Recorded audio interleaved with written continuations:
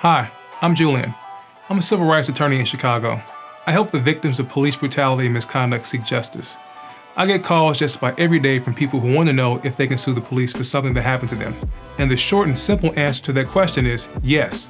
You can and you should sue the police if your constitutional rights have been violated. After the Civil War, Congress passed Section 1983 of the Civil Rights Act of 1871. It's also known as the Ku Klux Klan Act. During that time, recently freed blacks were being terrorized and lynched, and Congress wanted to provide a way for formerly enslaved black people to enforce the Civil Rights Amendments. Every year, civil rights lawyers like myself use Section 1983 to get justice and compensation for the victims of police abuse.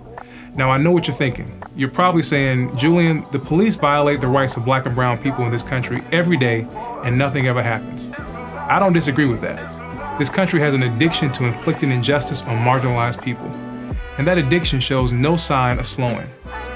I'm not suggesting that a lawsuit is going to change 150 years of state sanctioned police abuse against black people, but the presence of injustice should not deter you or us from fighting against it. No lawsuit will take away the humiliation you felt or heal the bruises and broken bones. It's not going to get you back the time you lost sitting in jail, nor is it going to bring back the loved one that was unjustly killed, but it will provide some bit of accountability and justice.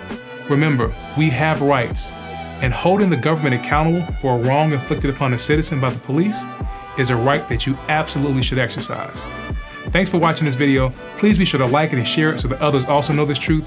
And to learn more about your rights and what to say when dealing with the police, visit my website. I'm on a mission to help as many people as I can understand their rights, and I want you to be a part of it.